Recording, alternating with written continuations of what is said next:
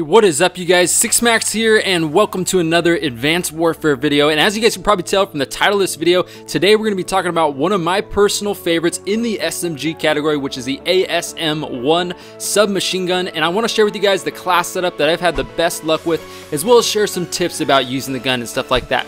So starting off you guys, let's take a look at the class setup here for the ASM-1 First four attachments, you guys, we've got the foregrip, which helps with the recoil, which is huge in Advanced Warfare in my opinion. The submachine guns tend to have a lot of kick in this game, and this helps a lot. Let's take a look here on the screen at how the ASM-1 works with the foregrip and without the foregrip. As you guys can see here, it's extremely obvious from the spray of the weapon that you get a ton more recoil without the foregrip, so I would definitely recommend going with that on all of your SMG classes, you guys. Next up, we've got Advanced Rifling. This is another huge attachment to have because I think the SMG in the game don't have near enough range with how quickly people move around with the exo movements and all that kind of stuff. One minute you can be in a gunfight and the next second your enemy is way over on a rooftop somewhere. And if you don't have that range, it can really, really hurt you. So, and then next up, you guys, we've got extended mags. This has been a standard perk for me for a really long time. This will help you pull off those double and those triple kills a lot easier.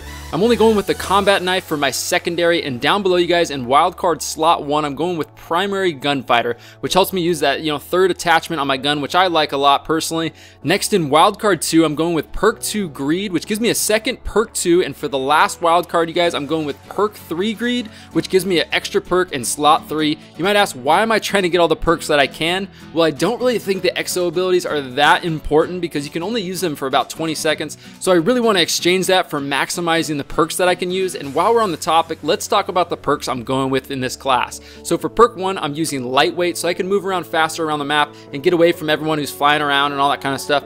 For perk 2, I've got Gung Ho, so I can fire while I'm sprinting, so I can run and gun more and stuff like that. And I'm also going with peripherals and perk 2, which increases how big your mini-map is on your screen, which is really, really nice. You guys, if you haven't tried it out, you should. Also, it lets you kill enemies without displaying where they died on the radar, which is definitely nice as well. And lastly, for perks, in slot 3, I'm going with Scavenger, so I can go on those long gun streaks. And because of the new movement mechanics, you tend to waste a lot of ammo when you play, because you miss a lot more because everyone moves so fast, so it's good to have that, you know, that extra ammo as backup.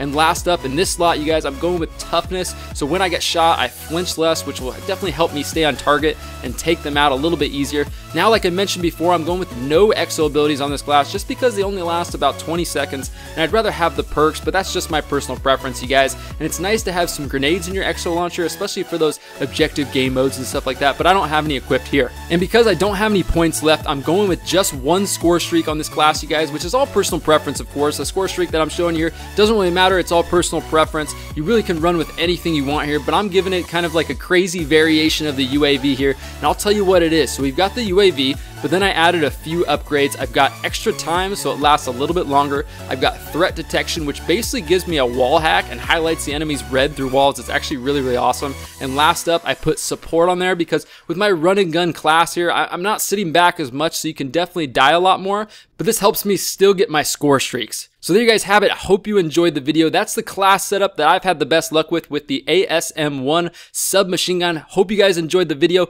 Drop a like down below if you did and definitely subscribe here if you guys are new. Again, my name is SixMacs you guys and I will talk to you all very soon in my next video.